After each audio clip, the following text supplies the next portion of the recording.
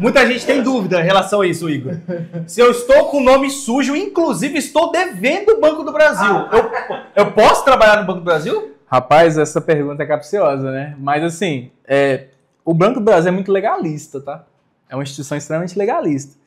É, existem pessoas que estão no banco hoje que devem ao banco, mas é como eu falei, é um banco, ele tem formas de negociar, de você conseguir, enfim, atender ali. Tem pessoas que já deveram e o Código de Defesa do Consumidor venceu, mas não impede você de trabalhar. Ele te dá a oportunidade de você renegociar a dívida. Sim, claro. Isso que é muito. Porque tem gente que fala assim, ah, mas meu nome está no SPC, no Serasa, eu não vou conseguir trabalhar. Eu acho. É, não é, é um contrassenso, né? Você você tem uma dívida, aí você vai ter um cargo onde você vai ter um salário que ajuda você a pagar a dívida. É. Aí eu vou dizer, não, não vai, não vai ter porque você deve, então vai embora. Não faz sentido. Exatamente. A Isabela está perguntando assim, o salário, ele aumenta com o tempo? Tem uma periodicidade? Como tem, que é, como a que gente é tem... É, entra como a escriturária A1, que é um salário inicial, passa 90 dias de probatório e vai para A2, Aí a cada três anos você tem 3% de aumento, que é o, o que a gente chama de triênio, né?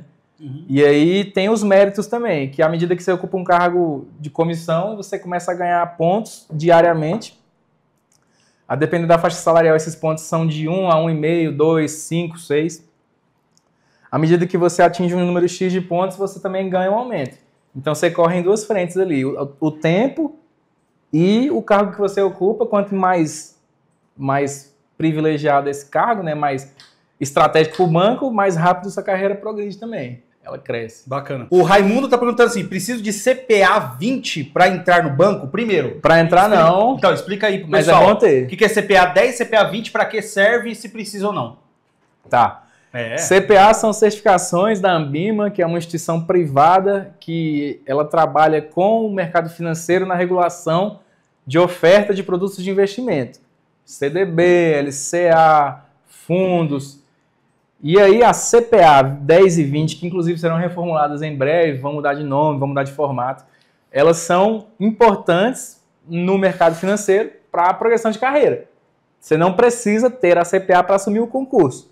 Mas, se você quiser crescer, é interessante. É importantíssimo que você pensa em fazer. Então, supervisores, gerentes, geralmente tem. Na verdade, dependendo do cargo, é obrigatório ter. Caramba, é? É, assim, existem alguns pré-requisitos para o cargo. Uhum. Entre eles, você tem certificações, cursos internos, é, assina alguns códigos de ética, de compliance. Você tem uma trilha inteira no, na universidade que eu falei agora há pouco sobre ética, que você tem que cumprir toda a trilha de cursos de ética. Então, assim, você tem alguns pré-requisitos. Mas não é nada de outro mundo. É muito mais difícil passar no concurso do que passar na CPA. Resumindo, a CPA é uma certificação para mexer com o dinheiro dos outros.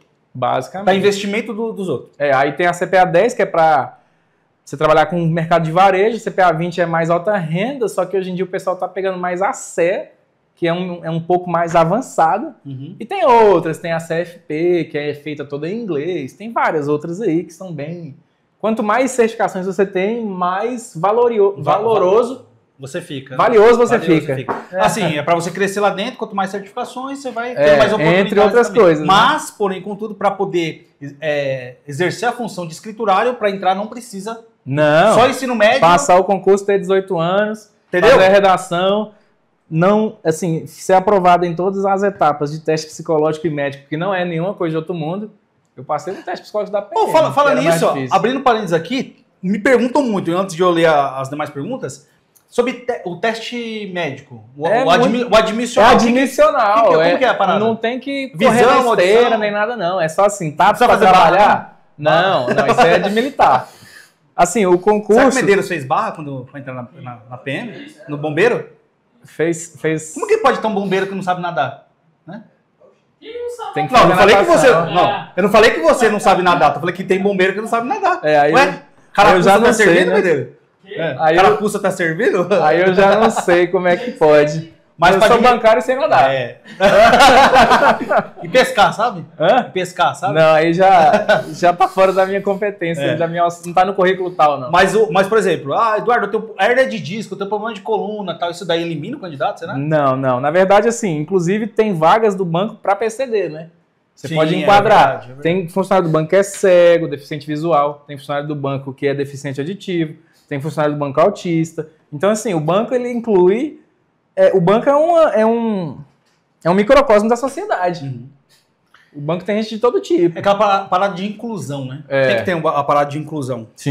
Então, o, o horário de trabalho é, é variável? Cara, isso aí de- de- nas agências depende da cidade. Uhum. Em Brasília, as agências funcionam das 11 às 16, porque tem Tá 5 bom, né? horas de atendimento ininterrupto. É o horário do guia. E aí a galera começa ali na, por volta de 10h30 até as 16h30. Eu que sou gerente, eu abro a agência às vezes, às vezes eu fecho, então posso chegar às 8, 8h30, ficar até 5, 6 horas, já cheguei a ficar até 7. Aí é, mas é questão de quer ganhar bem tem que trabalhar. Escutou, meu Gui? Escutou, né? Ó, o, o Marcos tá perguntando, é obrigado usar roupa social e gravata? Não, eu tô assim porque Pode, pode trabalhar de regata? a minha linda, maravilhosa, que eu te amo, Meu me Deus vestiu pra eu ficar lindo aqui. Mano, quando o cara... quando o cara, quando o cara elogia muita coisa, ele fez alguma coisa, cara, né? É, eu devo estar devendo. Tá de TPM, ela tá... Hein? Mas o cara pode trabalhar de regata e shorts? Não, aí também não. Ele Ué, tem, tem um. Tem um, um- Um padrão? É, tipo assim, eu não vou chegar lá com a blusa do Vasco. Ô, ô, E- oi, Vasco. Deveria, né? Mas não posso. Ah, e de, de sandália havaiana, nem nada do gênero. Sapato fechado, calça jeans ali, calça normal. Pode vir. Tem gente que vai de blazer. Se quiser, pode ir. Pode ir de gola polo. Po- Tem gente que compra uma polo e borda o, o logo do banco. Eu tenho umas 12 camisas dessa aí pra não Caramba. gastar as minhas camisas e sair. é. É, Então- é- não tem muito. Assim, óbvio que vai depender da liturgia do cargo, né? Se o camarada ocupa um cargo de direção, ele vai se vestir melhor e tudo mais. Mas na agência ali, chão de Não é fábrica ali, obrigatório, né? é Obrigatório. tranquilo. Ah, o Carlos está perguntando, tem horas extras? Tem. É banco de hora ou paga horas. dinheiro? Hoje eu faço banco de horas. Eu acho mais vantajoso porque o, a- o valor da hora é melhor você pegar e tirar a folga. É? É, eu acho. É porque é uma porcentagem em cima do valor. É, se tem. for, for para ganhar, assim, tem áreas do banco que compensa você fazer horas extras para ganhar. Mas aí é igual eu falei, né? Quer ganhar, tem que trabalhar. Ah, o, o, eu acho que é Ian, tá perguntando o seguinte: posso entrar como escriturário comercial e internamente migrar para a área de TI? Pode, mas você tá você, você entra numa carreira que é de agente de tecnologia. Lá dentro, pede a, a- faz os cursos e tudo mais. Inclusive, falando sobre isso, é muito legal, essa, essa informação é importante. Hoje eu faço uma graduação, segunda graduação, com incentivo do banco.